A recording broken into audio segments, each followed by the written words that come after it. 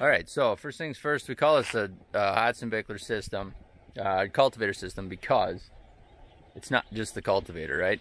It's got a camera hitch, there's a spot for the camera, the cultivator, which is hyper adjustable, and then finger weeders besides. So there's there's a lot going on uh, with this piece of equipment. Um, so we're gonna spend a little time talking about this one specifically and kind of comparing it to the Einbock. Um, but you know, I don't really have enough time right now, so I'm actually going to travel back in time to earlier this summer and uh, make a video describing this while I'm kind of using it. How's that sound? Hi. Today we're going to talk about um, Einbock, Hodson Bickler, cultivators actually. The um, from Austria, Germany, whatever, over the big blue pond. Um, anyways, they uh, they're actually pretty cool cultivators. Uh, you see them at trade shows, and I think they kind of look like pop cans. But uh, with CFS, we ended up uh, being dealers for both. Uh, now we're currently Hatzenbichler, but um, it's given us an opportunity to try um, each, and actually we have both on hand right now. So.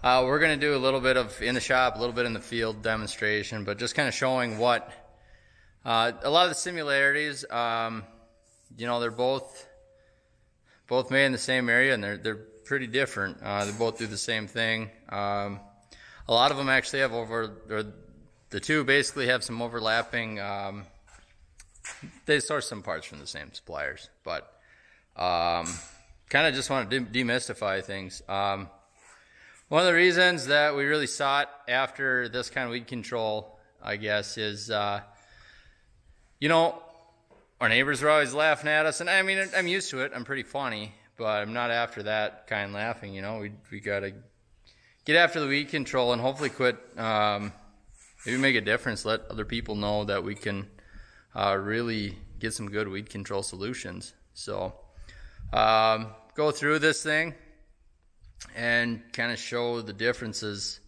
uh, kind of key differences. There's going to be a lot of subtle differences too. Uh, one of the subtle ones you might notice is um, paint colors. Not really that important. Okay, I'm going to start with the basic. Um, we have a camera guidance system. Uh, their hitches, although, are very different. Um, Hatzenbichler pretty much sells the XL, um, and it's it's a beast. Uh, the thing weighs like 3,000 pounds but it's capable of working with whatever American equipment you got. I know a lot of guys have 856 cultivators, uh, 16 rows, um, and those are pushing over 10,000 pounds. And it'll push that all day long. Um, and the Einbock, you'd have to kind of go to the biggest series uh, where and Bickler's already made this their standard series. Uh, here's what it looks like.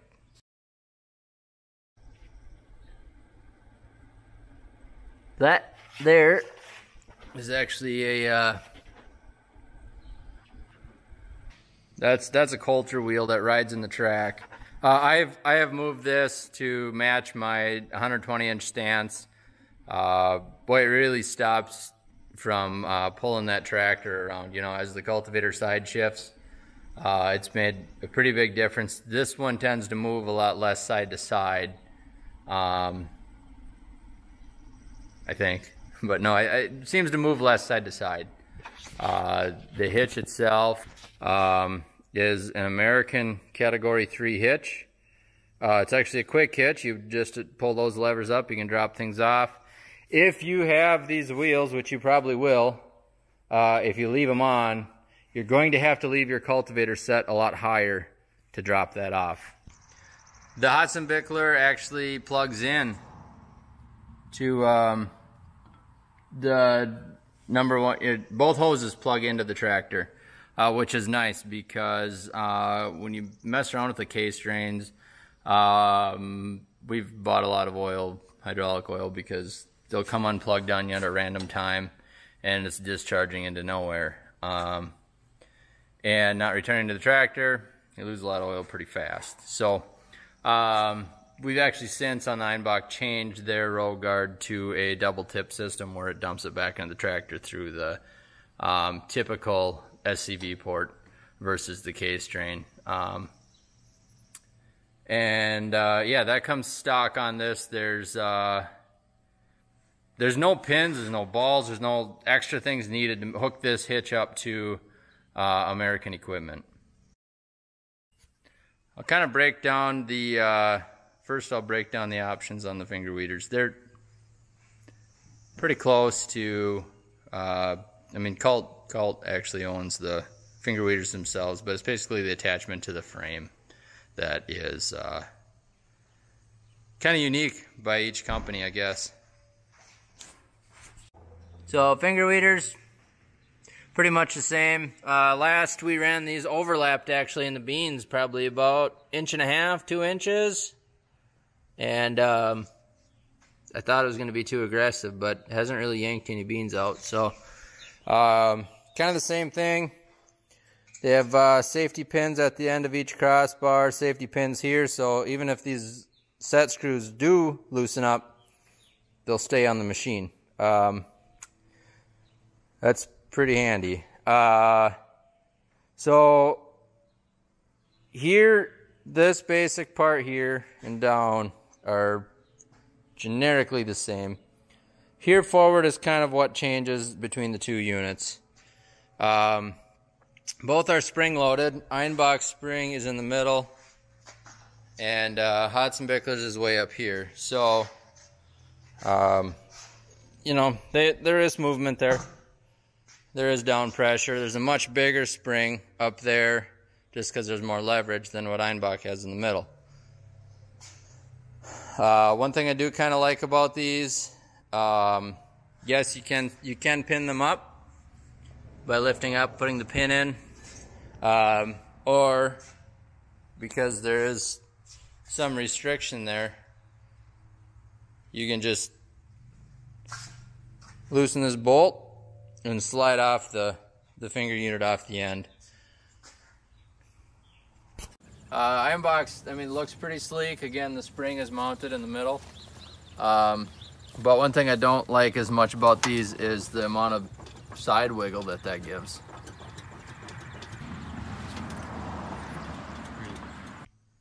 One thing both of these cultivators feature is a uh, option to lock an individual rowing unit up.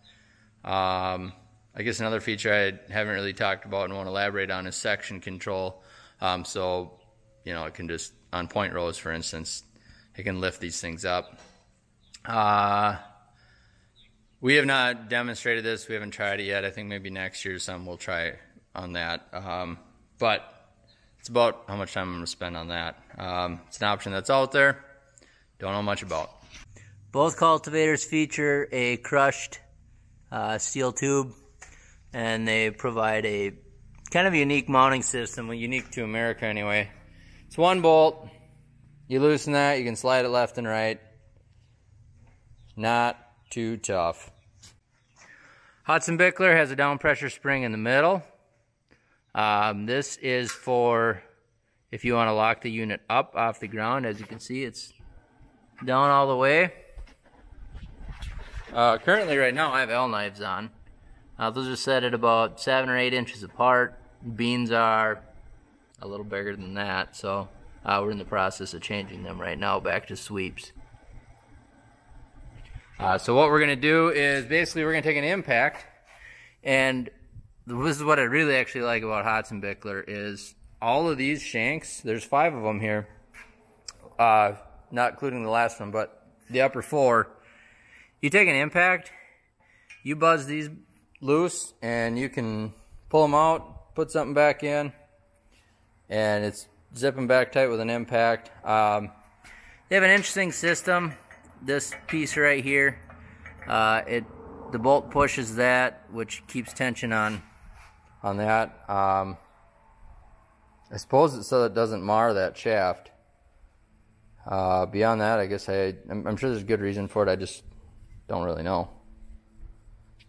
Okay, so Einbock is not so adjustable. Uh, Hatzenbichler, you can adjust the four gangs, not the rear.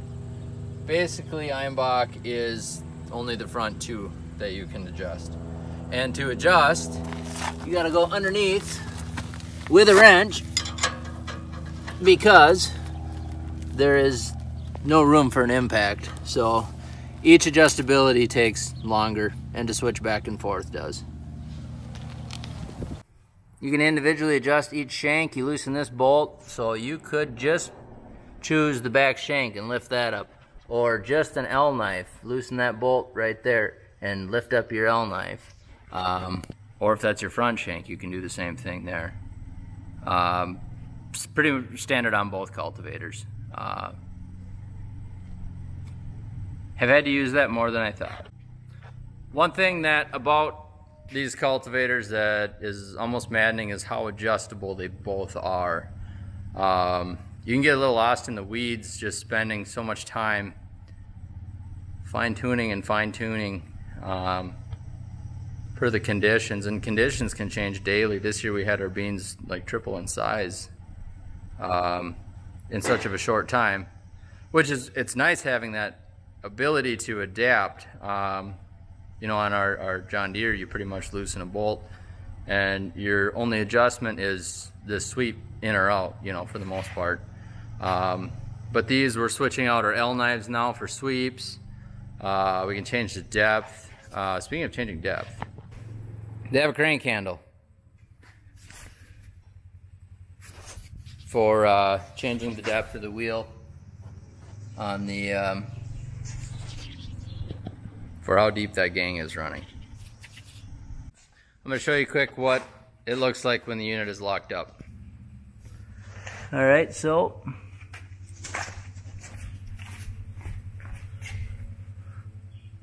So one of the things I actually can't really demo in this video, um, just simply for the fact is I don't have them on, is the shields. But I, I have them on a pallet here.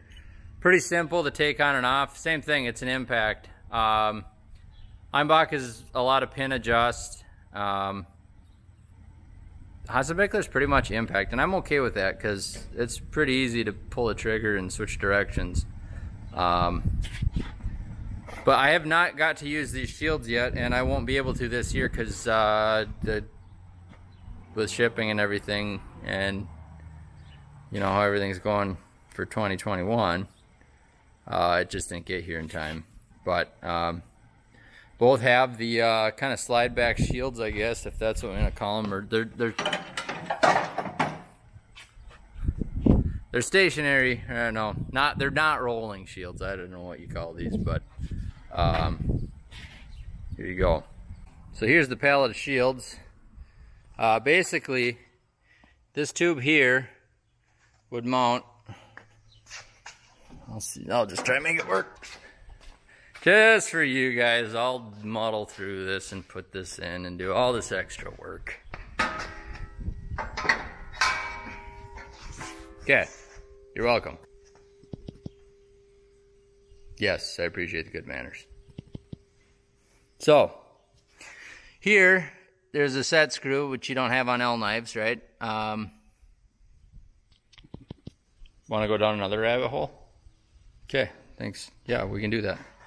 Um, so the L knives, we actually bought all the parts, the L knives, the spring, the shafty thing that goes through the cultivator that you tension with the bolt onto the gang. That made sense, right? Um, but we bought all that because when you have L knives, you don't need shields. Um, speaking of L knives, one thing I like about the L knives is that they're staggered. Um, I hope you didn't think this was gonna go like in any sort of like order, right? It's just this is how my brain works all day, every day. So the L knives actually run at a staggered, right? They, I think you can see that That one's set back. One thing I think is a really big deal is that the leading edge is up high. So let's say you catch a corn root ball, it's gonna catch here and just travel underneath rather than plugging. Um, I really didn't have any plugging issues other than some big sticks, uh, which will cause plugging issues in pretty much every cultivator. So no out of the ordinary plugging issues. We'll call it that. And back to the shield. All right, so kind of the same principle on the shield. And, you know, it's got some wiggle room there. And uh, we can set the chain or the, the height of the shield. There's a little carabiner right here. And you unhook it, you change the length, and you hook it back up here, and now your shield's here, or here, or here, or here, or here. Or you just loosen a bolt, pop the shield out, and you put them on a pallet. Okay, one more thing we thought actually is that, well, geez, you know, Hatzenbichler and Einbock shovels sure look a lot alike. They're probably compatible, right? Cross compatible? Nope. You want to see them side by side? I can show you. Okay. Boy, they sure look the same, huh? One of the first differences is the attachment method. Um, Einbock uses small bolts. Hatzenbichler has roll pins. Um, to be honest, I thought I wasn't going to like the roll pins, and it turns out it ain't bad. Not bad at all. So, for me, that really is not a decider. Um, I was able to change out a couple shovels. Now, the biggest difference here is the color. That one's gold. But, no, actually the biggest difference is not a whole lot other than their attachment. Which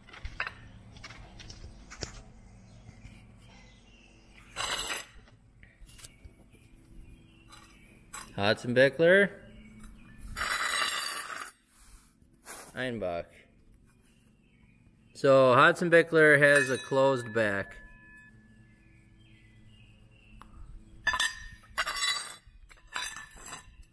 So there's Hatzenbichler again. Einbock. So a lot of not very good footage on that one. Uh, anyways, Thickness, pretty close. Width, Einbock is a little wider. I can show you. So what, half inch on each side? You whizzes, you, you math whizzes out there and that are good at interchanging metric and standard can come up with however many millimeters is because apparently everything's in millimeters. So, um, I think they're like a 500 millimeter shovel or something, 480. I don't know. I'll get better at it as I use it more, but it's a little confusing. I'm not gonna lie, all the metric stuff at first. All right, and I'll just kind of do a walk now from left to right so you can kind of pick stuff on the cultivator.